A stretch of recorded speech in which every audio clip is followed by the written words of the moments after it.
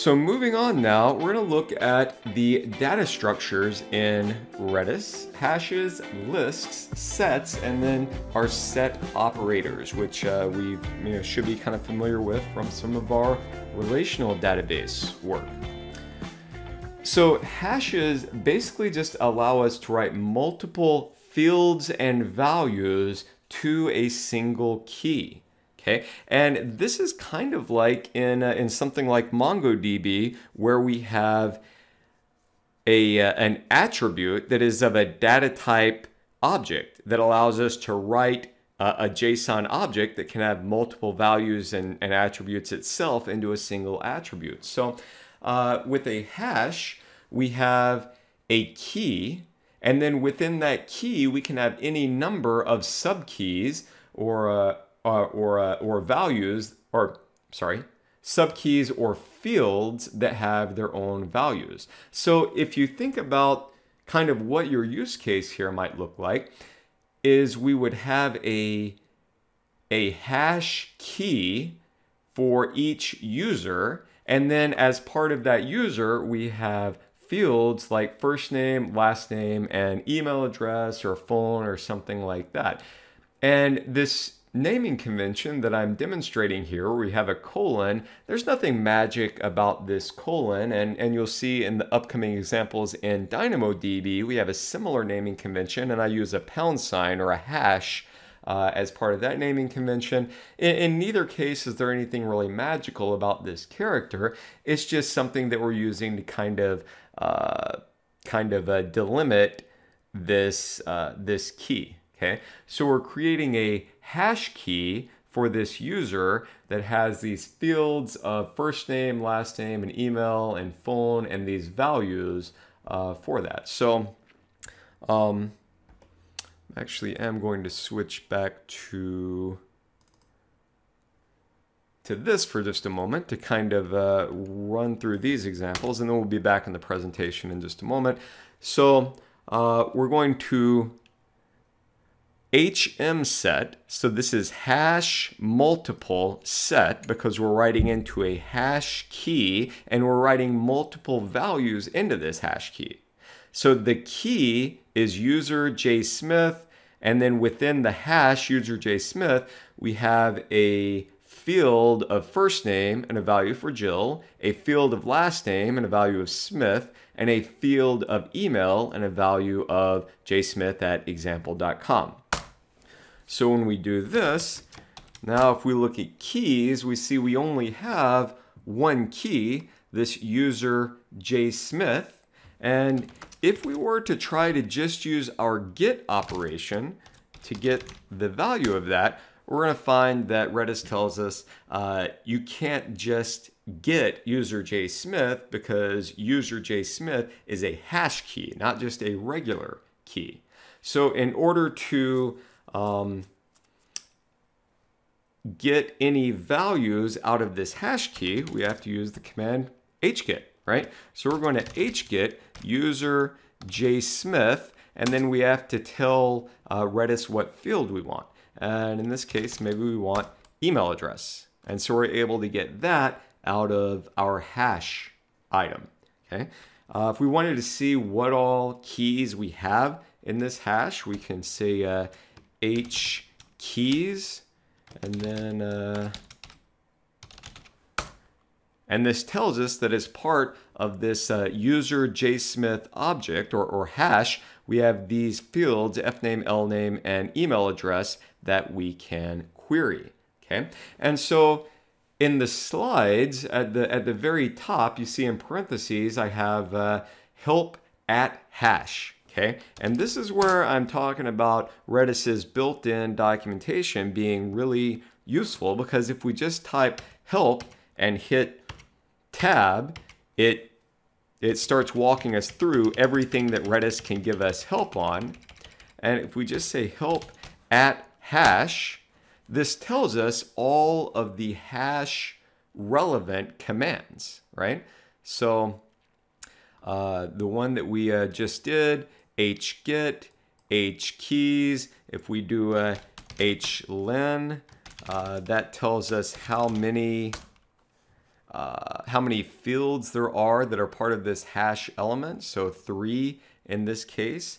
Uh, if we say hvals of user J Smith, this gives us all of the values, but not all of the uh, names of the fields that go along with that. But if we say h get all, it tells us both the field and the value that goes along with that field. And it's not in a very pretty format, right? But pretty isn't what Redis does. Very fast is what Redis does. So um, anytime you are, because we're not going through all 260 possible commands, but we are going to go through some of the big stuff in hashes and lists and, and sets. But for all of this, if you just do uh, help, and then, you know, when we start talking about lists, help at list, and here's all of the commands that are relevant to uh, interacting with lists, which is a pretty, pretty useful thing. So, um, yeah, we can set, let's say set another, uh, another hash item. This for user M Grimes, F name is Mark, L name is Grimes, phone is, is this, right? Um, we can also set, instead of uh, setting multiple fields at once, we can set just a single field by using hset instead of hmset. And note that since this is, even though this hash uh, object currently exists, since we are writing to a field that does not currently exist, this isn't going to overwrite this entire object, like we had previously seen uh, when we did a set on top of an existing key. This is going to append uh, to this um, to this uh, existing existing object. So if I say h get all user m grimes, you see that we have f name, l name, phone, and city, the thing that I just uh, most recently added. So hashes can be a very useful data structure because we can put multiple things into one item. So the second data structure we're going to talk about are lists. And lists are ordered sets of values. And since they are ordered sets of values, uh, we can access a list as either a stack or a queue. And uh, if you've taken computer science classes and programming classes in the past, you uh, may be familiar with the, uh, the general data structure of a list and uh, using them as stacks or queues. Uh, stacks being last in, first out, and queues being first in, first out. And we don't have to define how we want to use our list ahead of time. Uh, whether it's used as a stack or a queue is just going to depend on the uh, the order uh, or the side, whether we're pushing and popping items off of this uh, off of this list from the right or the left. Okay, so with a list, you push items onto it and you pop items off of it. Okay, and so the general way that this works, there we go, is uh, we're going to push, say, item one, item two, item three, item four. And then when we access this as a stack, we're going to pop the item off the top. Okay, so we would pop off the most recent thing that we put in, in this case four, and then three, and then two, and then if we add something else, it's going to go on top of the stack. So then five is pushed onto the stack and six is pushed onto the stack. And then we would pop six off and pop five off and pop four off. So it's a last in, first out situation. Whereas a queue works kind of in the other direction, where let's push an item into the list. So one, two, three, four, and then when we start popping items off of the list, we're going to pop the first thing that we added. In this case, one, two, three, and or one and two. And then as we add or push new items onto the list, we're going to push them to the front of the queue. So five and six. And then as we pop items off, it's going to be the oldest items. So not a right or wrong way to do things, but it's just two different ways we manage the items that are in our list, right? Whether we treat it as a stack or a queue. So we add items to our list using the rpush or lpush commands, depending on if we want to push them to the right side or the left side of the list. And then we'll pop them off using rpop and lpop, depending on if we want to pop them off of the left side or the right side of the list. So I think this will yeah, be most easily illustrated by flipping back to our Redis server and actually creating these lists. So we're going to start by pushing onto this list, which we're calling students, this value of Alicia. Okay, so let's push Alicia. Let's push Bob. Chris. And notice every time Redis is now telling us how many items are in this list. Okay. Okay, so we now have four items in our list. And if we want to see the items that are in the list without uh, popping any of them off, we use this command L range. And oddly enough, there is not an R range, there's only the L range or left range. And uh, we specify what position we want to start at and what position we want to end at. Okay, so uh, again, Redis, like most computers, uh, starts counting at zero. So let's start at position zero and let's stop at position negative one, which is going to tell Redis that we want to um, go all the way to the end of the list because otherwise negative one is an invalid option. And what I forgot was to provide the name of the key, which in this case is students. Uh, so L range of students starting at position zero and going to negative one or doing the whole thing. And so here is the current contents of our list, Alicia, Bob, Chris, and David. If I said start at zero and stop at two, we're gonna get Alicia, Bob, and Chris. And keep in mind, since we start at zero, this is zero, one, two, right? Even though we have three, three things here. All right, so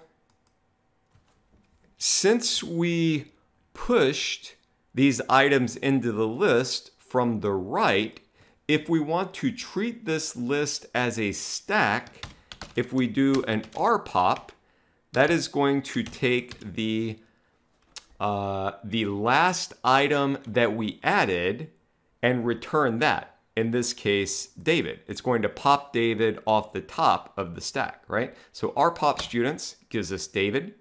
And then if we do that again, we get Chris. If we do it again, we get Bob. If we do it again, we get Alicia. Okay, so this is treating our list as a stack. Okay. On the other hand, if we push into this student's list from the right, again, Alicia, Bob, Chris, and David, same thing, but this time instead of rpop, let's lpop.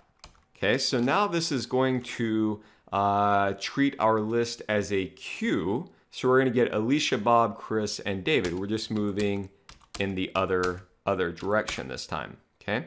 So again, not a right or wrong answer, uh, just depending on do you want what's returned out of this list to be the most recent thing that was put in the list or the oldest thing that was put in the list? And that's all just going to depend on the uh, business application that you are working with.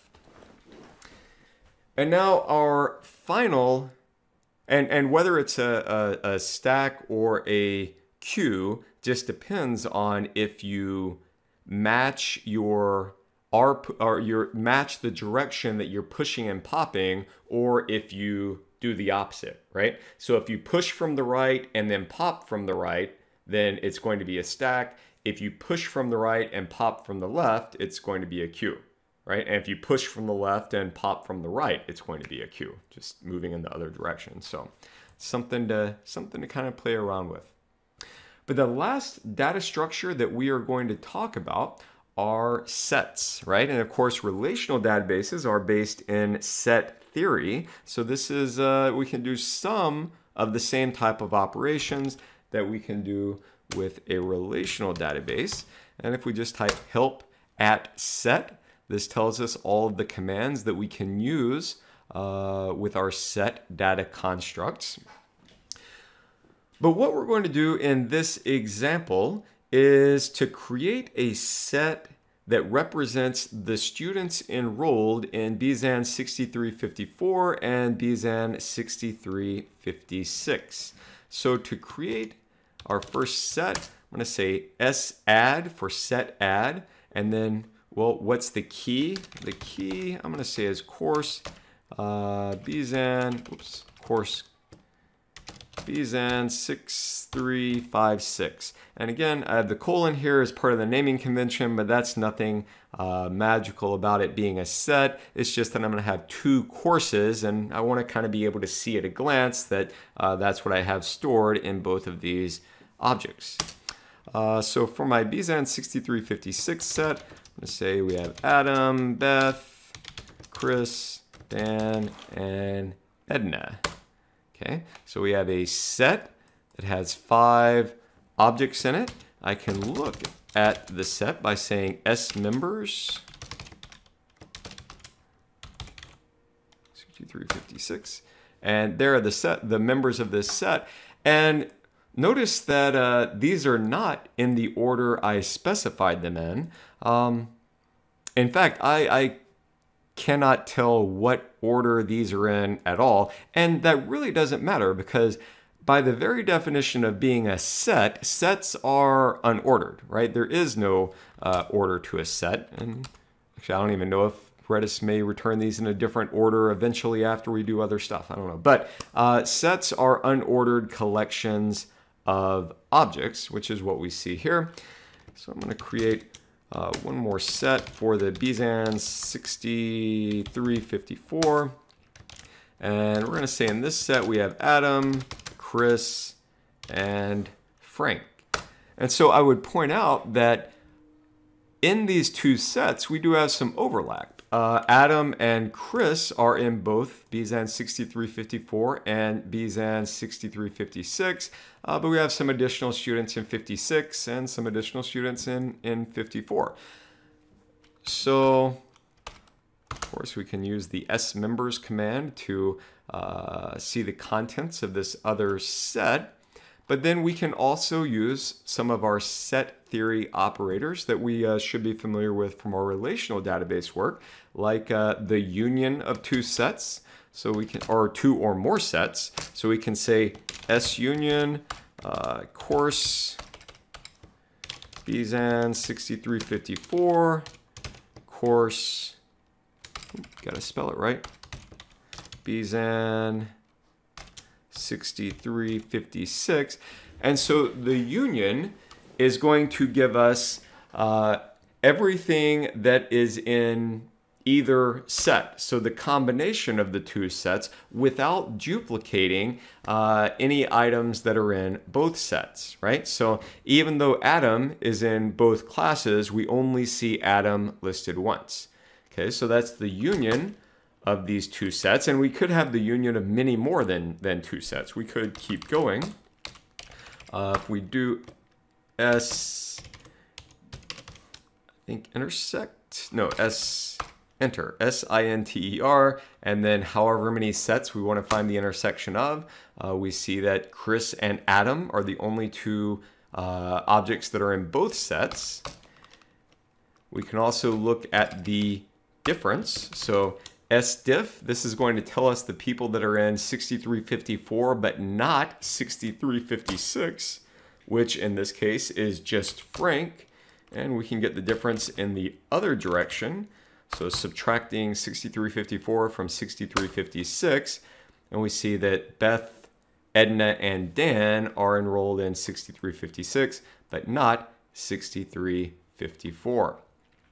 And then the final kind of cool thing we can do uh, with a regular set is to store the output of this set operation um, in a new set. So in order to do that, let's uh, let's store the intersection. So let's say s inter store, and then the destination. So I'm going to call this uh, both bzan.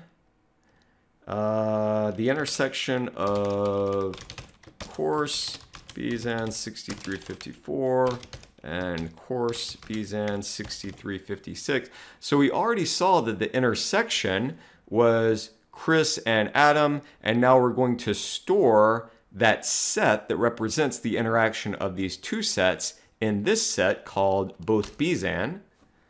And if we say S members of both bzan, we can see that's a set that includes these two uh, objects of Chris and Adam. And of course, to interact with the set, we have to use these set specific commands. If I were to just set, say like something like get both bzan, uh, Redis says, no, you can't do that because that's not the data type that I expect it to be. Now, our final thing we're talking about with Redis is uh, we have this idea of lists being ordered and sets being unordered. However, we can also have sets that are sorted. Okay, and so we can apply an additional value uh, to a set uh, in order to have an ordered set. Oh wait, one, one thing I will show you about this set before we uh, before we move on to the ordered set is how we can get data out of it. Okay, so in addition to just looking at those values, if we had a set and we wanted to randomly pull values out of it, right? So imagine, uh, uh, you know, we have our, our list of customers or a list of students in our course, and we want to randomly select a single student, but once they've been selected, we want to make sure we can't select them again. Uh, whereas we used the uh, rpop or lpop command to pop objects off of either end of a list, we can use spop to randomly pop an item out of our uh, out of our set. Okay, so if we were to spop course bzan 6356, this is going to give us uh, a random a random member from that set and and note that Edna is no longer in that set because we've popped her out of there. So now we randomly get Chris, and you can see Chris has gone from the set. And then once we're out of members of the set, you know, we see nothing else there. Now let's move on to our ordered sets. And then when we get done with this, we'll take a, uh, a quick break and then uh, reconvene to discuss DynamoDB a little bit. So let's, uh, now that we have popped everyone out of Bzan 6356. Actually, let's, uh, let's do the same for 54. Let's just clear this out. Do we have anything left in our database? Let's just start over from scratch. How about that? All right, so our, our Redis database is empty now. We're going to now recreate a set for 6356, but we're going to create this as a sorted set. And a sorted set, instead of sadd, we use zadd to tell uh, Redis that this is a sorted set, not just a regular set. And we're going to call this course bzan 6356. And the values that we want to provide are the grade and the name of the student. So in this case, let's say uh, 82 is the grade, or more generically speaking, Redis refers to this as a score, but it could kind of represent whatever. So let's say Adam has an 82. We have a score of 95 for, uh, for Beth. Let's say a 91 for Chris, a 60 for Dan, and 85 for old Edna. Okay, so this is going to create a sorted set of these five uh, members of the set that have this value for score. Okay, so in order to see these members of the sorted set, we're going to say z range, of course, bzan 6356, and we're going to start at element 0, and we're going to go all the way to the end, Whoops, 60. Fingers got off on the wrong keys. 6356. So here are the members of this set, but currently we're not seeing the scores. So optionally, we can say with scores at the end of this. And now we see in our sorted set, Dan has a score of 60, Adam is 82, Ed is 85, Chris is 91, and Beth is 95. So we're ordered by this score that we've applied for each member of the set. And this gives us the ability to also provide now a range of scores that we're interested in seeing. So we can, uh, instead of just z range, we say z range by score. And then here's the set that we're interacting with. And let's say we want to see everyone who has a B in the class. So scores ranging from 80 to 89. And this is going to give us just Adam and Edna, right? Or we could look for people that are, you know, between 90 and 100 or 200 even.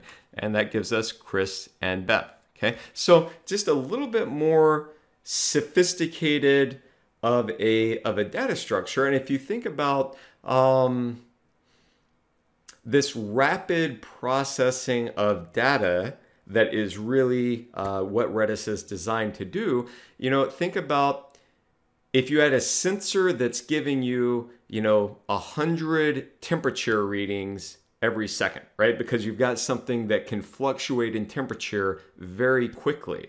Maybe what you're having Redis do is pump all of those temperature readings into a sorted set like this, but then you only want to return any values that exceed some threshold, like any values that are above, you know, 500 degrees or something like that. And that's the point at which you want Redis to start spewing out all of the data that's coming from this sensor, right? So we can do this kind of streaming processing of our data and throw away everything we're not interested in and process all the things that we are interested in, right? So that's the type of application that we might might see uh, for this type of thing. So lots of uh, lots of fun and exciting stuff that we can do with, uh, with Redis. So a uh, lot of very useful commands. Again, generally not for long-term storage, not for persistent storage, not for doing any heavy analytics like we might find ourselves doing with a relational database management system.